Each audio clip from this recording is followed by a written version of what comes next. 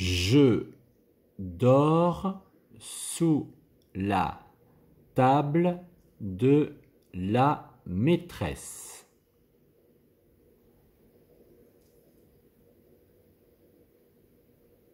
Tu marches dans le grand jardin vert.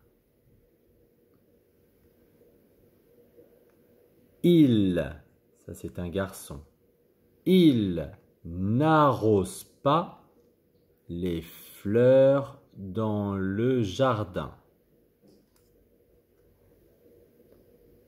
Elle, ça c'est une fille.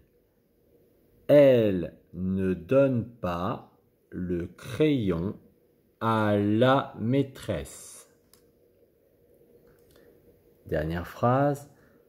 Le chien de la sorcière n'aime pas courir.